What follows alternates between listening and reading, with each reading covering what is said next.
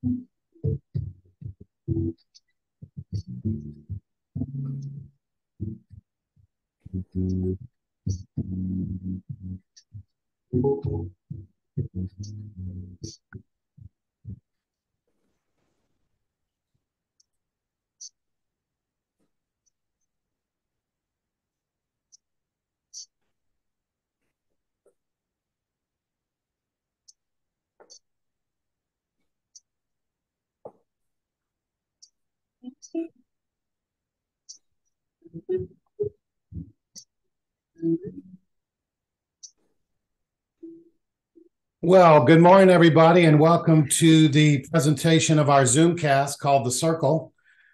We're glad you joined us this morning for a topic that was close to our heart and certainly something that I've worked with for many years the language of leadership and building culture of trust in your Catholic school. I'm Bernard Dumond with the consulting group Catholic Vitality 360, and we partner with Catholic parishes and schools and dioceses on building Catholic communities of faith and thriving communities of faith. We'd like to jump in this morning with um, our topic on the language of leadership, and we always begin with an opening prayer. So let's begin in the name of the Father and of the Son and of the Holy Spirit. Amen. Let us recall that we are in God's presence. Almighty God, come to my assistance, and Lord, make haste to help me. Dear Lord, we come to you this morning with our concerns, our hopes, and dreams, and we pray for the virtues of patience and persistence. The virtue of patience as we are patient with others, patient with our students, patient with ourselves, and patient with all those within our care. We also ask you for the virtue of persistence as we move through the final stages of the school year and we finish strong and we touch people's hearts and we become an inspiration for those who we serve. For this we pray. Amen. Father, Son, Holy Spirit, amen. Once again, thank you all for being here this morning. Uh, this is our third broadcast of the Zoomcast, we're calling this, called the Vitality Collective. And this is a place to learn, a place to share, a place to grow, a place to collaborate and discover. At Catholic Vitality 360, we're here to serve and we form partnerships and we'd like to be of service to you and whatever you'd like to share with us. Today's topic, of course, is leadership. And so let's jump right in. I love the topic here of leadership and also of this quote. Whether you're a school leader or a parish leader or a leader of any organization, the culture in your school or parish is shaped by the worst behavior of the leader that the leader is willing to tolerate. Very interesting quote as we begin the discussion on leadership. And we often find that those within our leadership charge are wondering and, and seeking out what is the behavior that will be tolerated. And often they move to that level of behavior. And I was in a school this week in a in the Diocese of Lake Charles. And within about 10 minutes, I could tell that this was a place of leadership, high standards, and respect. And interesting quote as we consider this topic. I've often shared this too in the in the realm of leadership that this is an important concept to understand. And the concept to understand here is that whatever is happening in your school, which is the E here for the event, whatever is happening academically or enrollment wise, marketing with parents or students or faculty and staff, you know, this time of the year is very heavily devoted to enrollment and to marketing and to academics for the final you know, nine weeks of the year. And so events are happening around school and activities. And as leaders, it's our job to understand those activities and events and then formalize a response or put together a response. And that response, based on the events that are happening, will determine the outcomes. If we want higher enrollment or solidified enrollment, we must market the school to tell our story. And so, if there's something happening in your school and in your parish, the response will make all the difference. So, it's not what happens. More importantly, it's what you do to what's happening. And are you ready to respond? And we often say in our work that in this particular case, the response is based on finding the truth, no blaming, no complaining, find the best options, build the mission, promoting vitality, and let's get to work. So, this is very important as a leadership concept to understand that we must create responses that produce the desired outcomes. The response we talk about a lot here at Catholic Vitality 360 is, of course, vitality, right? Catholic school, Catholic parish, diocesan vitality. And we talk about this a lot in the sense of measuring vitality and also creating a culture of vitality. And I'll show you in a minute that we have these seven circles of Catholic vitality. There are seven circles for schools, there's seven circles for parishes, and there's seven circles for dioceses. And we've created these seven components that are measurable and also allow you to grow and prosper and be sustainable. And I'll share that with you as we move ahead. The goal is to build a culture of vitality, to build a culture of vitality. It doesn't arrive instantly, it must be built. And there's some components here that you can see that we certainly measure. Uh, one of the things that we need to be aware of is negativity, right? And I'll show you in a minute that there are non negotiables as leaders, right? As leaders, and I talked about this on my visit with our school on Tuesday, is that we have a policy in the building of no complaining. We have a policy in the building of no gossip. And so, no negativity. And that negates vitality, right? So we must create this culture of positive solutions.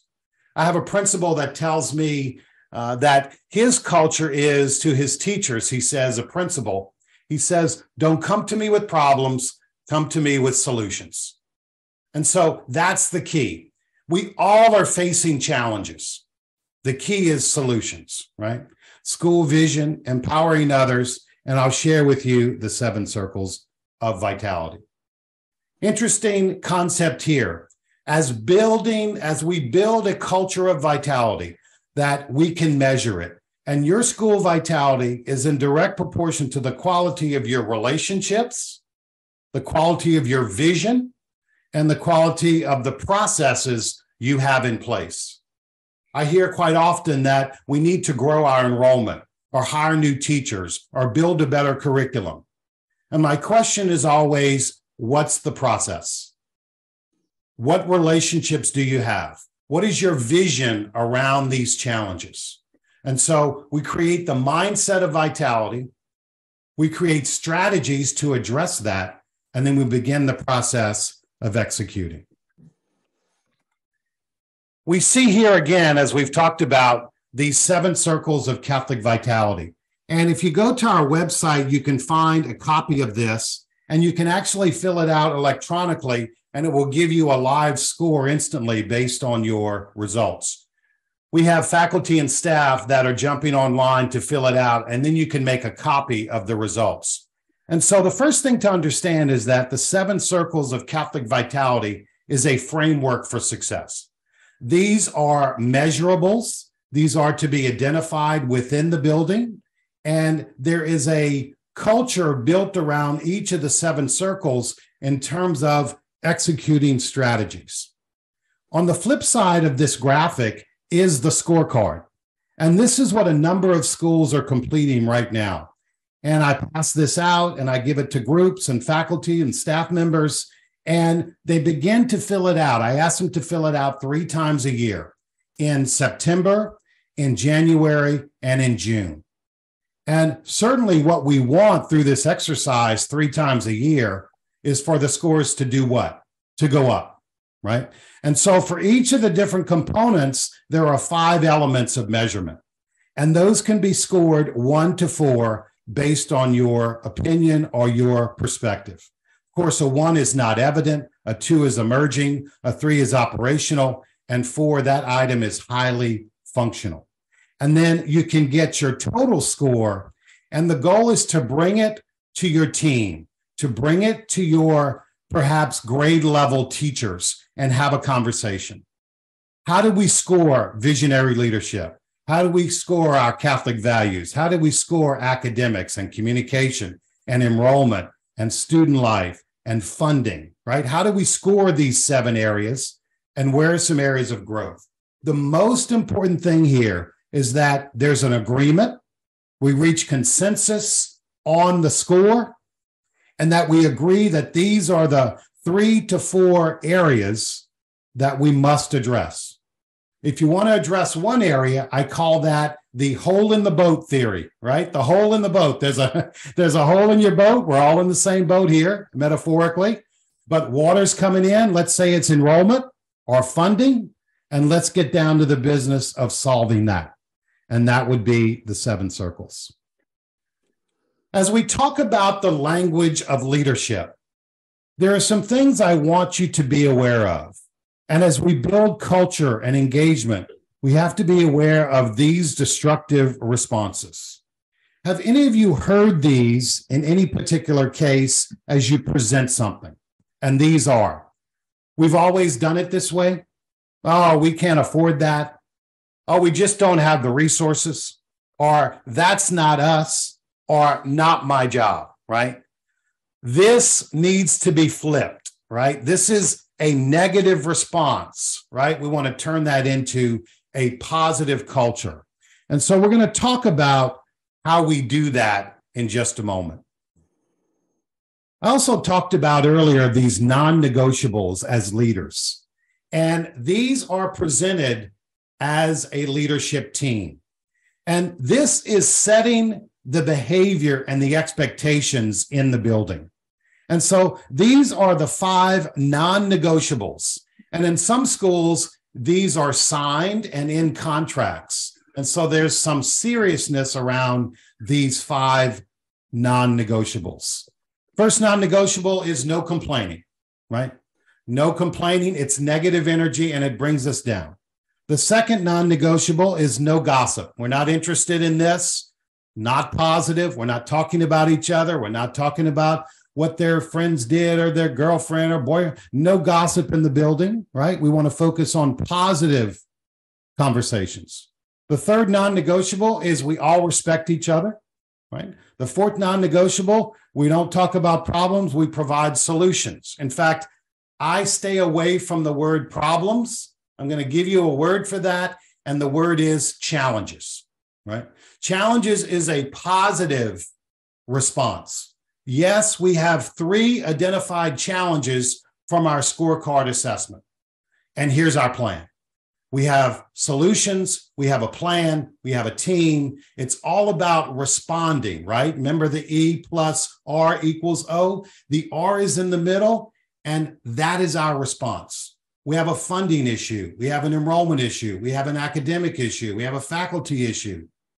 Our response makes all the difference, and that will determine the outcomes. Non negotiable number five, we work together as a team. There is wonderful knowledge and power and strength in this team you have. The school I was with on Tuesday, they have 42 faculty members. So much knowledge, so much enthusiasm, so much work that they've done and experience that they have to solve many of the challenges. Now, we like to focus on three challenges at a time. The number three is doable, not 33. And so, coming out of the assessment tool, the scorecard, uh, three of, I call them the big three, right? The big three challenges, and we get down to the business of solving them. We also must create culture before strategy, right? So many times, by way of example, I've been invited to work with a school to partner with the school on a strategic vision, right? And so over the course of uh, several months, four or five months, we create all these strategies. We break teams up into groups and we identify the challenges and we come up with a list of solutions. People feel good about it. But ultimately, it comes down to do we have the right people, the right culture, the right processes in place to address these strategies? Sometimes we don't. So I often say that strategy is ineffective without the proper culture. We have to understand the who, promote the why, engage our faculty, be strategic, give them credit, and then celebrate. But culture is so much more important before strategy. I often find that if there's a lot of strategy and it's not getting accomplished, then something's not working on the policy or procedure or the leadership side. All these strategies are presented, but something is a barrier. Let's identify those cultural barriers. The culture should be open to change and ready to get to work.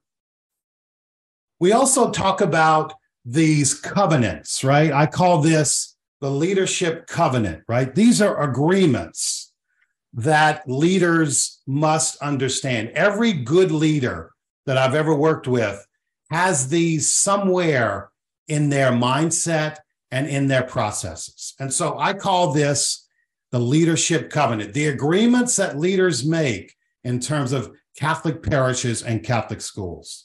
And here they are.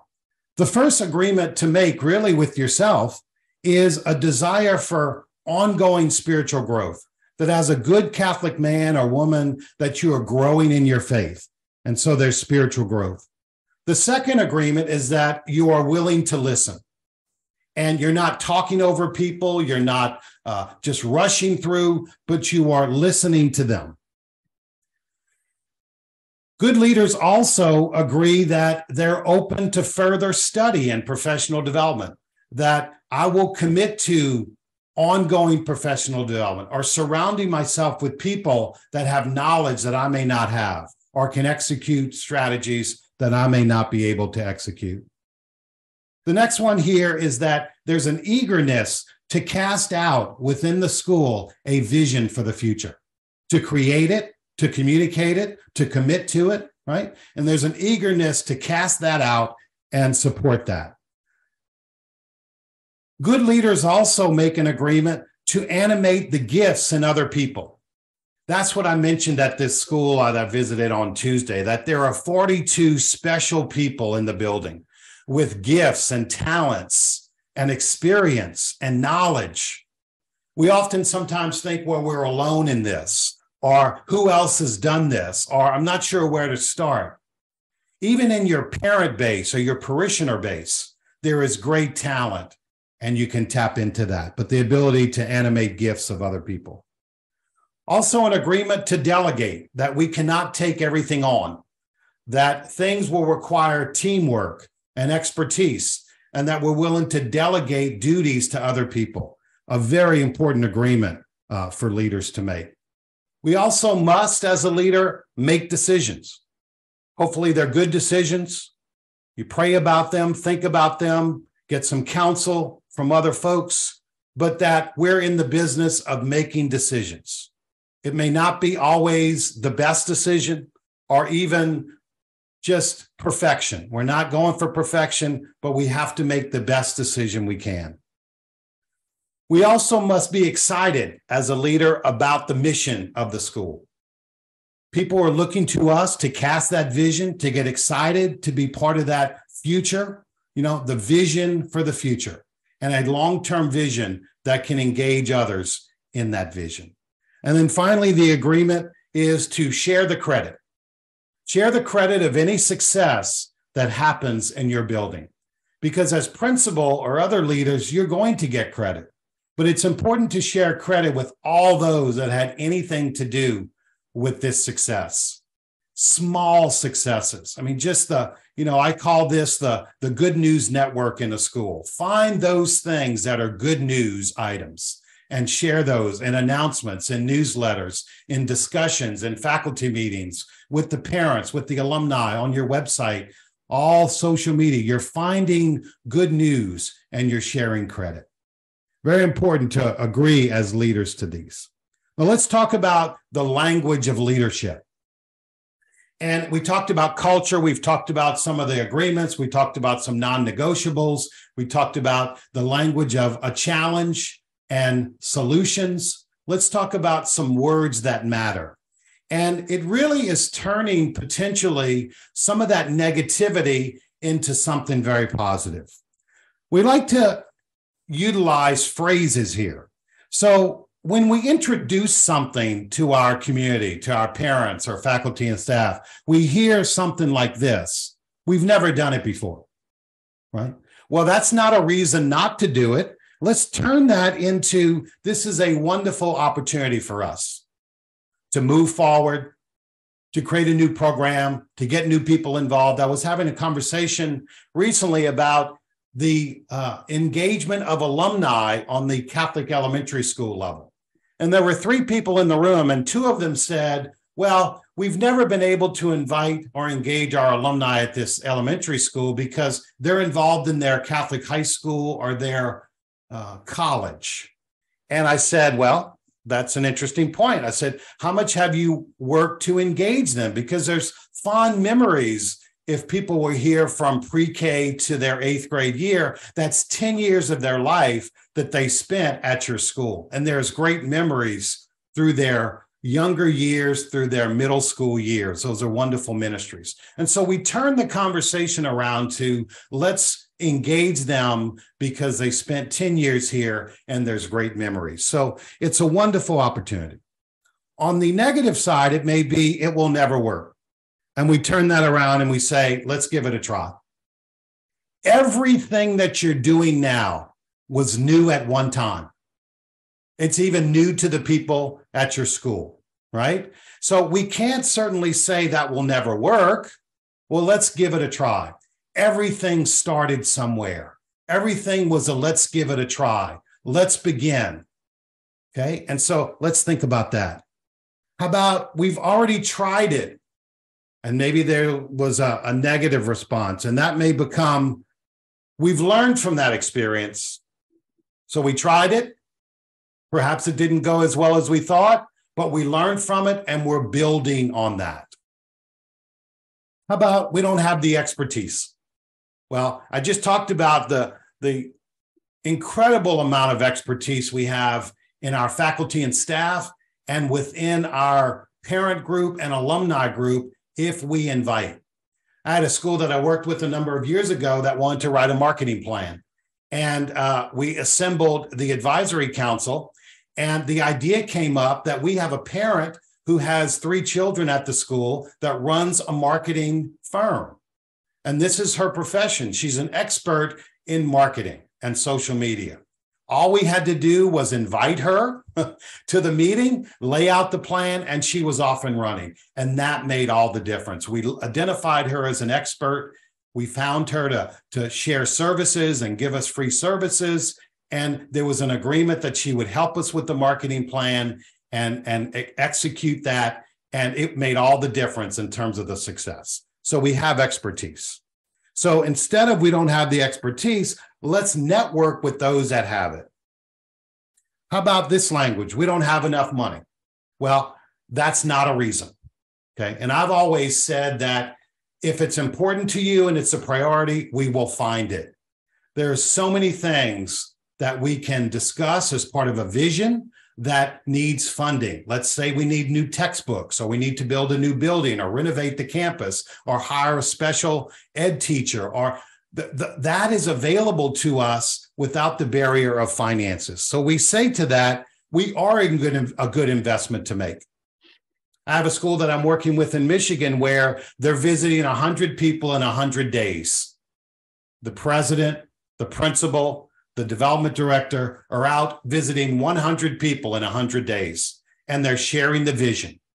And what they have found is when they share the vision, people want to be engaged in that. And some have become donors because of that visit. That wasn't their original intent. The intent was to, to visit them and, and uh, engage them in a relationship, further the relationship, cultivate that. But they also are talking about the needs of the school. And ultimately, we've had some families donate to specific projects. So money is not the barrier. How about this? We're just too busy. I hear that also. We need to turn that and say, we need to make this a top priority. Okay. Busy is not the reason. We sometimes need to determine that busy is not effective. Sometimes busy is not effective. Just the, the act of movement is not effective. And so we work with our leadership teams to create three priorities. And those are the three priorities this year. And we focus our energy and our expertise and our talent on those three. And then finally, the worst of all, we can't. We just can't do it. and then we turn that around and we say, we can. And let's give it a try. So, in terms of language, leaders need to have this language of success, this language of vitality. And these are the words that certainly do matter. We talked about challenges earlier. And the way we respond to the challenge, much like the events and the response and the outcome, is very important. Let's say right now your challenge is enrollment for next year. A lot of schools in April, you know, January, this is the season for marketing and enrollment for next year. And we're certainly uh, graduating a group of students. We need to replace those students. And perhaps you have a goal beyond that number that you need to bring into the building for budgeting purposes, for hiring purposes, and just uh, for tuition and, and funding. And so enrollment is not a problem, it's a challenge and it's an opportunity to reach out. And certainly there's a number of uh, strategies we can share with you around enrollment. But instead of thinking of them as problems or negatives, we see challenges then as opportunities. Another piece that I've shared with teams in terms of making decisions is what you see here called the strategic thinking model. If there's ever a, a, strategy or a process or something we're thinking about, this is the template to start asking some very important questions. It may be academics, it may be staffing, it may be facilities, it may be in student life or ministry or, or in, in our religion classes. But this is the template that I work with schools on when there's a new process being suggested. And so we ask some questions. Okay. The most important question is you're proposing this activity and how does this activity advance our mission and vision? It must be within the furthering of our mission to make saints of these students, to make them critical thinkers, to send them off into the world with these gifts and talents, but certainly to get them to heaven, right? And so that's the first question. Who will be impacted? How will they be impacted? What are the outcomes, required resources? value proposition, measurement, all of these are important as we look at different processes. And then there's a series here, which I will not read in detail in the interest of time, but there's a series here on effective leadership and practices. And some of them are, are here for your edification. So, first, to acquire knowledge and information, to convert that knowledge and information into action, to take responsibility for communication. And you can see uh, the the pieces here in terms of the marketing piece and advantages, promoting that and engagement. And then accountability is important as a leader, right? To, to have accountability across the school. We have other issues related to being a school of vitality. And there's a system here that, if you'd like more information, I can share with you. But we've created what's called the V7 leadership system around the seven circles.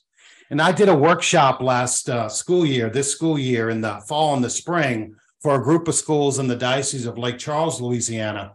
And they've adopted this model to take the seven circles and build a leadership team around the seven circles of vitality. And members of that team are responsible for one or more of the seven circles. So when activities come up or strategies are proposed, then members of the team are responsible for that particular circle of the seven circles. And they're putting the system in place right now. The system, to think as a system, is very important. So here are some other words that we talk about in terms of leadership, right? Just some words to have as part of your conversations. We use the words our vision. We use collaboration. We use together. We use the word vitality. We use faith community and team and partnership. The word partnership is so important. We're in partnership with the Catholic Church. We're in partnership with our parents. We're in partnership with our students. We're in partnership with our alumni and friends. We're in partnership with grandparents and all those that have a relationship with us. Partnership.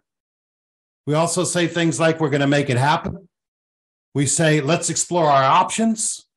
We say, let's think this through, right? When, when, when an issue comes up that we need to talk about, let's think this through. I've also heard in meetings where we need to get some ideas and get some input, we say, I'd like to make a suggestion. Not just rushing into an idea, but let's think about this and I'd like to make a suggestion. Also, one of my favorites is what are our best solutions? Opening people up to possibilities. This is the language of leadership vision, collaboration, vitality, togetherness, teamwork, partnership. We're going to think this through. Let's look at options. Okay. This is the language that people respond to. So I want to share that with you and also how we build trust. Good leaders are always building trust, and without trust, it really falls apart. So, along the lines of visionary leadership, which is our first of the seven circles of Catholic School Vitality, visionary leadership, that visionary leaders are building trust. Visionary meaning that they're not living just for today, but they have a vision for the future. You're, you you have a plan for today, you have a plan for tomorrow, you have a plan for next week, next month, and also next year you're a visionary leader. It's not just, oh God, how can I get through the next day? But I'd like to have uh, those of us involved in a much larger vision.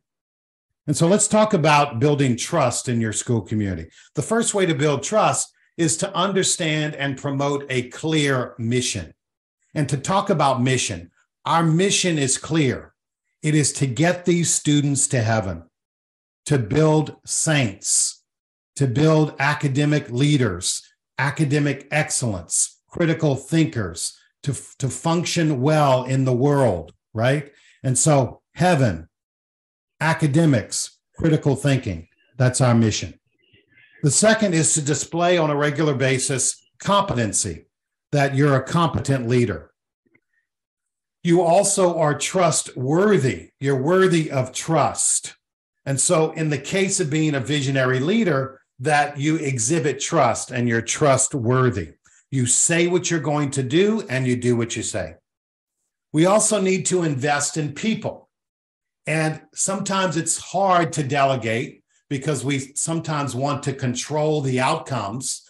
But my experience has been that with these talented people, it can be so much better. right? Not a large group, but surround yourself with a group of five, ten or so people and build and invest in those people. And that will make all the difference.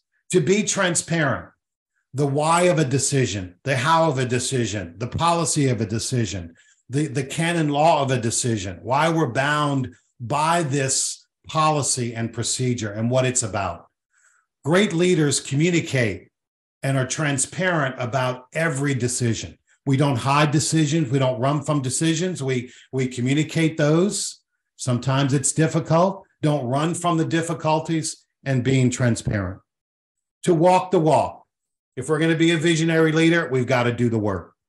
And so to be that person, to say what you're going to do and then do what you say, and to lead with integrity. I often find that a classroom is sort of a microcosm of the whole school. And uh, even young students can, can evaluate their teacher in a very short amount of time. And so uh, they're watching everything and they're watching decisions and they're watching what you're doing and they're watching how things are done, how you dress, and all of these little indicators of leadership. The words you use, how you treat others, how we respect the rules, how we follow the rules, how we're transparent, how we communicate, the words that we share, how we interact with students. And so leading with that integrity and important how your faith is is paramount in your life and Christ is the center of your leadership. The, the, the example of Jesus Christ as a leader is your model of leadership. And think about how Jesus was a leader to others and his disciples and others while he was on earth. And so there's a, that's a trustworthy uh, process. Another piece that I use, and this is in the uh, in the slides, and also I can send this to you, is a form of evaluation that I've used uh, to determine how you're doing. And in any particular case, whether that's leadership or enrollment or uh, visioning or any particular case, um, I ask about these three components. This is called a discovery exercise to discover an outcome or discover a path forward. And the first component here to the right is what in this particular case must we do more of? More of what in this particular case? The second discussion item is what must we do less of in this case? And then finally, in those particular instances, what must we do differently to achieve a different outcome? And so I would walk, work with you on this as a leadership team, whether it's a, a, a particular process or something you're planning to do or a strategic vision of some kind. And this is a uh, exercise we would go through. I also want to share with you why people give. And, and this is an important component to uh, getting people involved in our building. And giving comes in all different forms. Giving can be uh, of their time, of their treasure, of their wisdom. Uh, people give many different aspects of their lives time, talent, wisdom, and treasure are basically the four components of giving. And let's take a look at these in terms of a quick measurement of are these in place in your school? Is there a belief in the mission? Is there a compelling case? Is there personal invitation? Is there good communication? Is it easy to give? Do we recognize our volunteers? Is there a strong vision of vitality? And are we good stewards of those gifts that people give us as leaders? And so these are important to understand why people give, but the opposite of these are also reasons why people do not give. And so think about that as we invite people to be a part of our school. And then I'll close our discussion at this point as we get into your thoughts or your ideas as part of our discussion today. I'll, I'll share with you three key strategies that, that pulls all this together. The first leadership strategy, which may be as of a surprise to you, is that we need to be very protective of our time. And I have coached principals and others to have a no open door policy. And let me explain this. I've been in meetings with principals in their office and the door is open and they're constantly being interrupted. And so, this idea that the door is always open and I will receive anyone at any time is really disruptive. And so what we what we do here is that we we certainly want to invite people to come and visit with us and have meetings, but the door is not always open because you're working and you're having other meetings and you're working on other items on your list of, of action items. And so to say that I'd love to meet with you, but please schedule a time to meet with me. And if my door is closed, that means I'm working and that I'm either working on my action items or I'm with someone else. The second strategy is that schedule your time during the day for emails and phone calls. That the email list that's piling up in your inbox is not going to be dealt with all day long. There's maybe two or three blocks of time that you're in the office trying to address email traffic and also make phone calls. The door is closed and you're working on these items 20 minutes on emails and 10 or 15 minutes on phone calls, depending on the day. And that's scheduled within your day. The third strategy that I've used very effectively in my work is a process called time boxing. And time boxing is a strategy that says we have a list of action items for the week or for the day.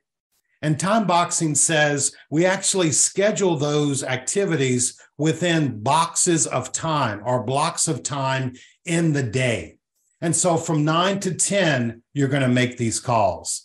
From 9:30 to 10:30 you're going to check email. From 11 o'clock to 11:30 I have a meeting with our athletic director. From 1 o'clock to 2 o'clock we're talking about advancement and enrollment and that's a meeting. And so, even if it's a to do list item or an action item, that you schedule these items, you box them out, right? You box them out in your schedule, and that's called time boxing. So, you take the list of action items and you certainly simply schedule those. You simply schedule those in your calendar, and that is a prominent feature of your day. You may have some time for meetings. You may have some time for uh, other reflection or prayer time or mass time or other action items, but time boxing schedules your activities. Okay. So let's move the portion of our Zoomcast here, the circle, to any particular share time. And so we've had some teaching today on the language of leadership and how to build trust in your school. And for the remaining time together, uh, we're open to questions. We're open to uh, experiences, uh, any successes you've had, any best practices that you're following as a leader, any wisdom you'd like to share, or any insights. If you want to release your mute button and you want us to all hear you, you can certainly do that. But we're open to any questions, uh, anything that you've had as a success, any best practices, any wisdom you'd like to share, or any insights.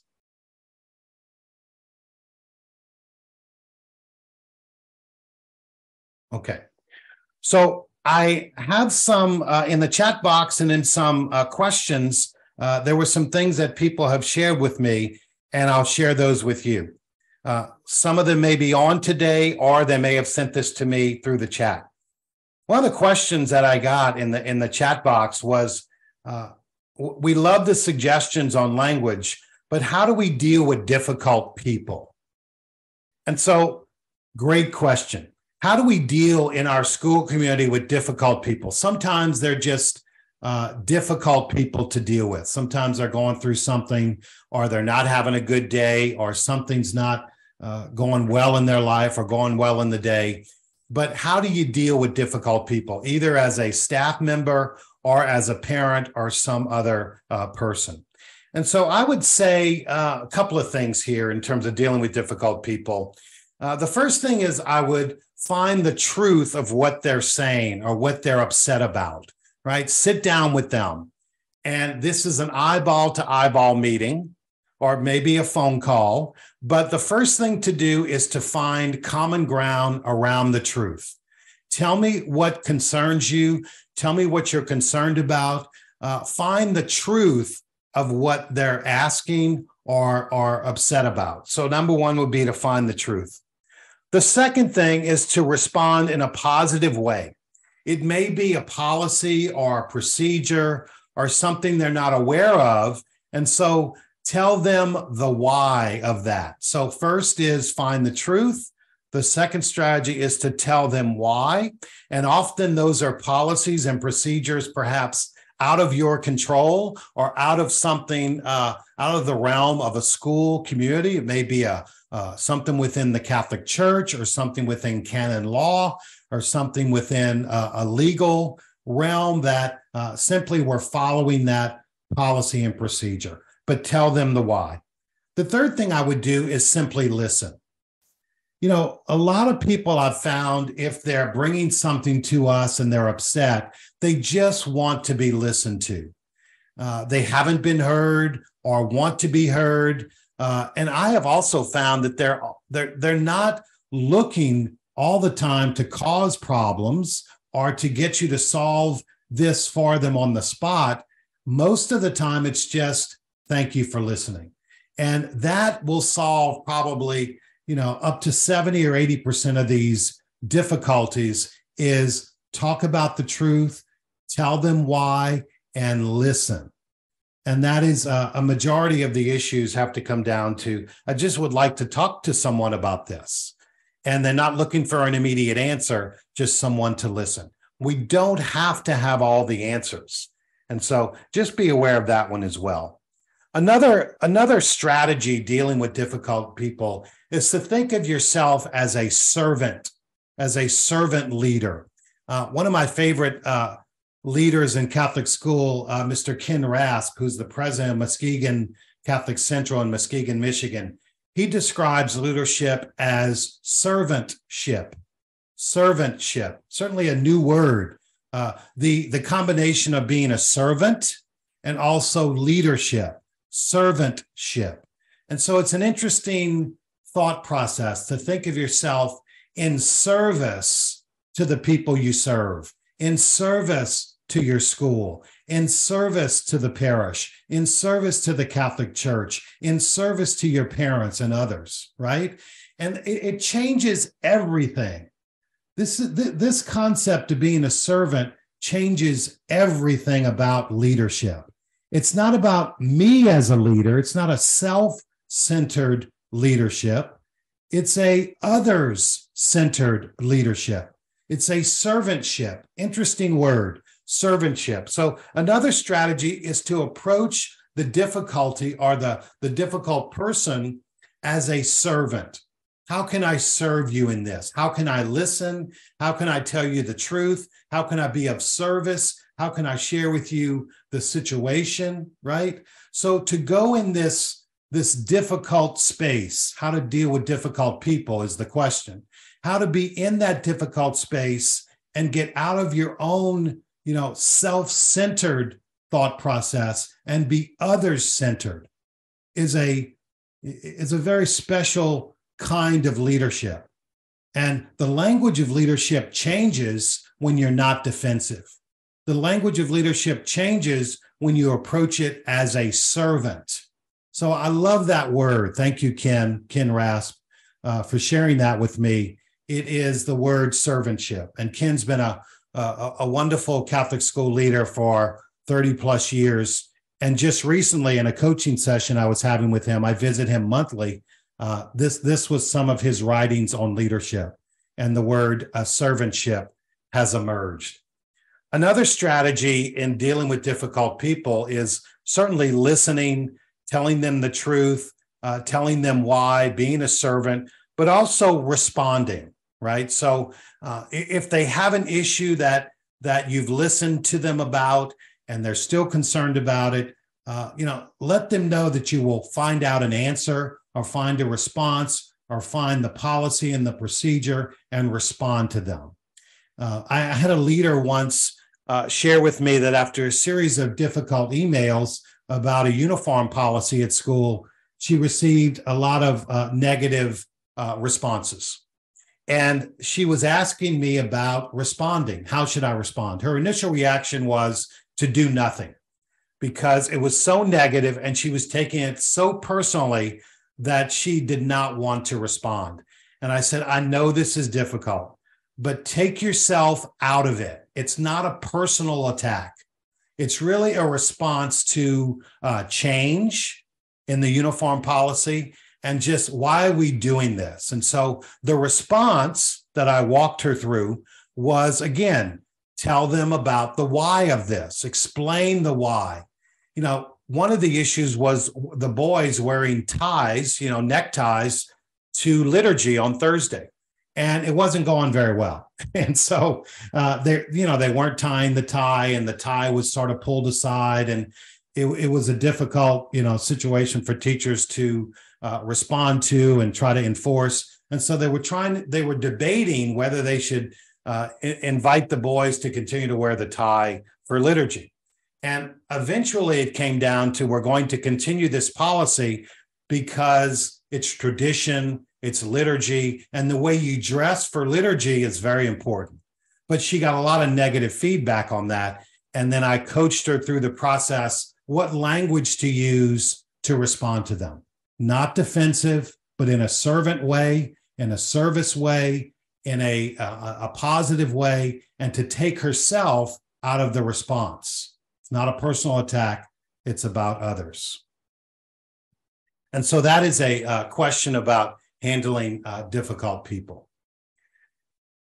Another question we received today in the chat is How do you build a leadership team? Uh, how do you build an effective leadership team? And that came up uh, today in the in the chat and in other responses. And um, again, I, the, the key word there is team.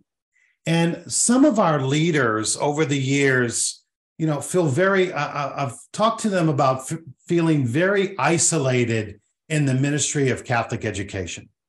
And, and they sort of feel like I'm constantly putting out fires or I'm constantly trying to deal with negativity. And, and I'm, I'm now in the, in the period of burnout. And how do I build an effective team?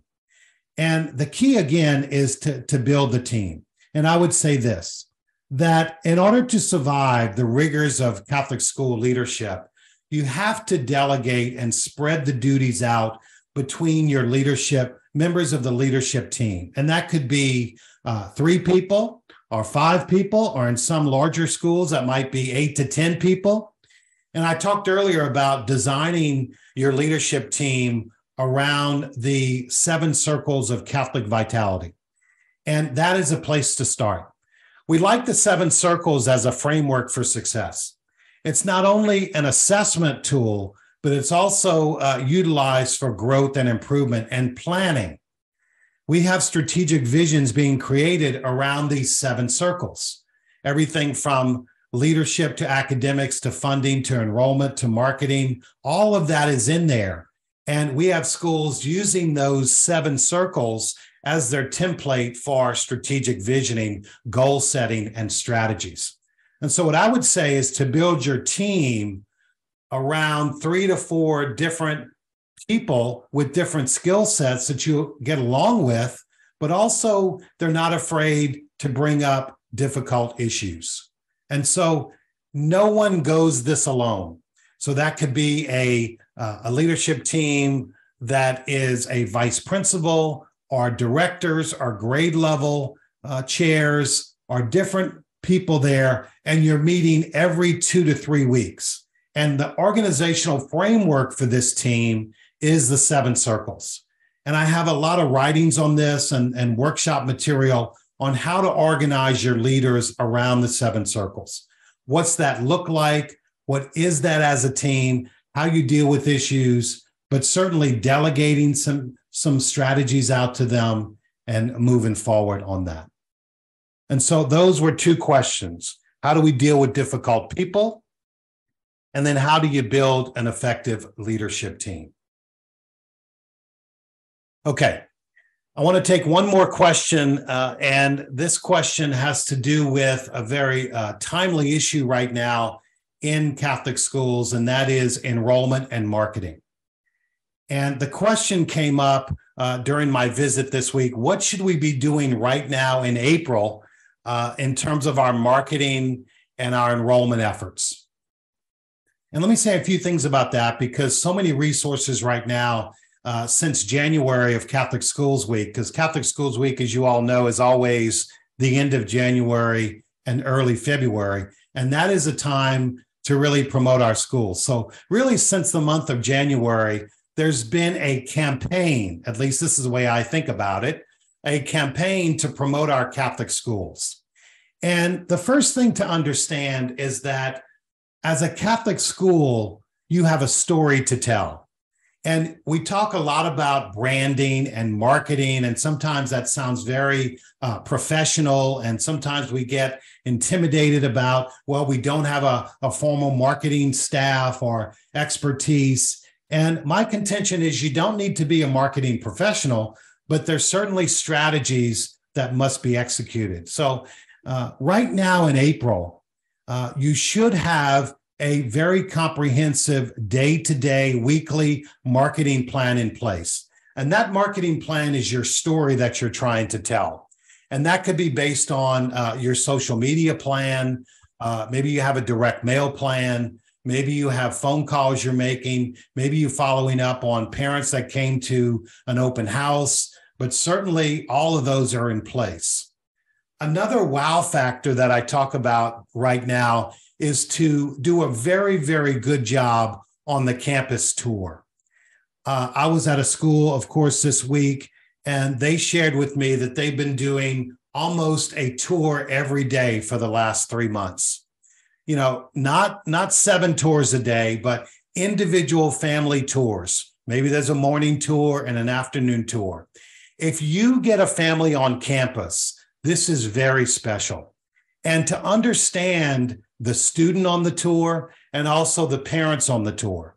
And to make the tour very, very special, to make the tour tailored, to make the tour personalized, and to make sure it's the wow factor.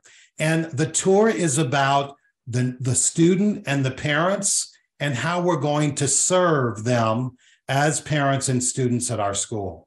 And so I think certainly right now there's a high priority on uh, telling the story through social media and through other marketing strategies, but certainly focusing on getting families in the building and doing an outstanding tour.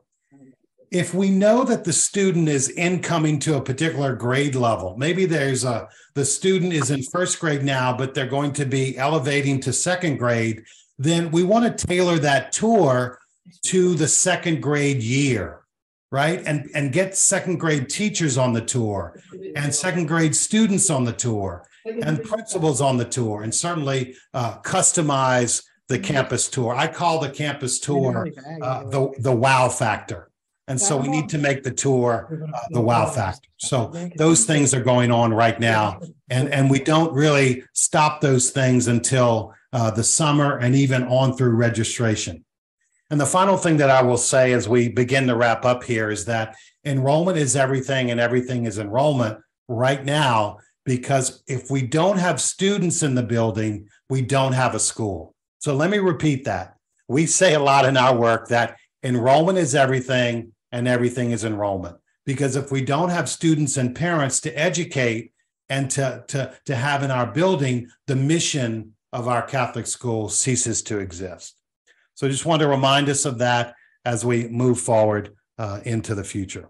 So as we wrap up here today, first of all, thank you for joining us. It's been a great one hour. Always goes by really quickly. Uh, I want to share with you our next session. will be very specific on this topic on enrollment management, strategic enrollment management, Thursday, May 18th at 11 a.m. Uh, invite your team, invite your faculty members, invite parents as we continue this this wonderful process. We're so excited that people are jumping on to to, to this platform, uh, the Circle, uh, part of the Catholic Vitality Collective. Uh, it's a free service, and uh, we love to have people join us. So please think about that as we get closer to May 18th, and uh, certainly finishing the school year uh, very strong.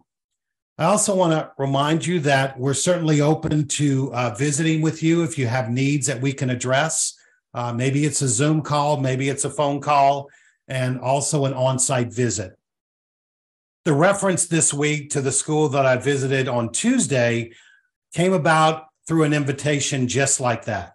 I was doing a workshop with them, and they were in a group of schools over this uh, Vitality Workshop series. And I simply mentioned to them that I'm willing to come to your school and make a visit. And they took me up on it. And I spent a full day with them on Tuesday, meeting with the teachers, doing an in service, talking to their advancement office, going through their strategic vision. They completed the assessment scorecard. And so we looked at that and uh, we gave them some some advice on how to move forward and we have some future visits on the calendar uh, to share with them and and it was a wonderful visit in keeping with that idea of partnership so i want to offer that to you all as well so call us or come to our website we're here to serve you and we're very happy to do that as as we believe that this is a ministry for us and we're here to serve and finally, I always share uh, the go forth message as we continue to live this ministry of Catholic education. Uh, that do not forget these, that to bring Jesus Christ to the center of your life, to build good daily habits through growth processes, to surround yourself with good people, to do what you say and build trust, to implement a bold vision and a culture of vitality. And let's not forget about the three P's, which are prayer, patience, and persistence. So, once again, as we close, thank you all very much. You can email us, always willing to hear feedback. If you have topics you'd like to share with us, please share that with us. And we're certainly willing to listen. So, let's close out this very successful session. Thank you for being here. We'll close this out with a prayer. In the name of the Father, and of the Son, and of the Holy Spirit, amen. Let us recall that we are in the presence of God. Dear Lord, we thank you for those gathered here, for their commitment to their faith, for their commitment to Catholic schools, for their commitment to the Catholic Church. We ask you to bless them. We ask the Holy Spirit to give them wisdom and guidance in their ministry. We ask them to understand that reaching out is a gift and reaching out is a skill, and that we're not alone in this work. We ask your blessings on the continued season of Easter, that during our Lenten sacrifice, we may continue those gifts and all those blessings as we continue our Catholic faith. For all those gathered here, thank you very much. We pray, Amen. Father, Son, Holy Spirit, Amen. Once again, thank you all so very much. Join us in May and, and look for us on social media. Call us and write us, and we're happy to help you. Once again, thank you so much, and we'll see you next time. Thank you.